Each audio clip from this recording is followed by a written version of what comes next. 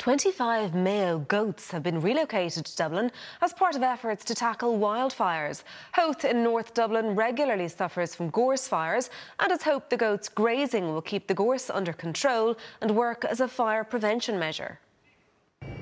This dramatic footage from July shows the impact of a major gorse fire in Howth, the flames burning everything in its path, edging ever closer to homes.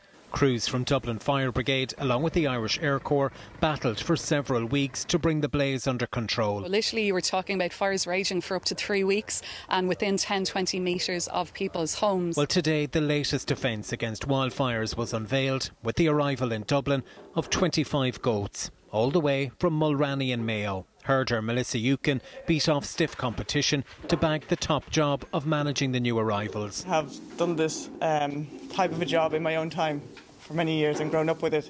So it's wonderful to be back with the goats as part of this conservation programme. The goats have one job to eat as much gorse as possible to help prevent future wildfires getting out of control. If you look at the hill behind you and it's, it's shredded black, and instead of the helicopters and the fire engines and all the people at risk, the firefighters and the houses and all the rest of it, we'd be bringing in goats to do that. We think What's, what's not to like about all of this? A GPS tracking system will allow the new kids on the block to be moved easily to various sites. The relocation of these goats to Howth Head has been described as groundbreaking and sees the return of Ireland's native breed of goat to the capital for the first time in half a century. There was great excitement in Howth today as the newest residents settled in. I got to, to pet them and uh, feel uh, his horns and uh, he ate a lot of food. While those in Mayo are hoping that today's transfer will bring some good luck. We're courting Sam next Saturday, so uh, it's our fitting dowry to bring it up here, and hopefully it's an omen that Sam might come back to Mayo. If successful, this project could be rolled out to other parts of the country.